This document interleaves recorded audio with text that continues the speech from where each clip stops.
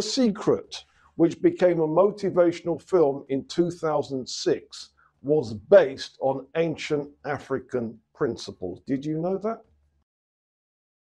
If the scholars already know that problems in our communities are aggravated by poverty, how comes none of them are teaching the people how to make money and build wealth?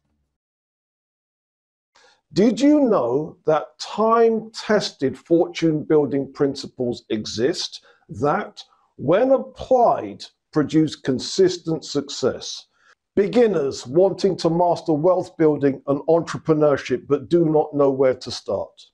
Students needing to earn more money to afford college fees.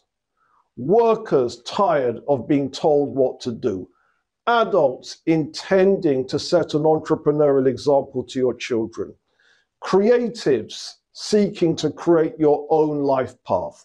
Single parents wanting to work from home elders seeking a new life challenge, activists wanting a structured blueprint to empower the community, people in Africa, South America, and the Caribbean wanting to earn first world income.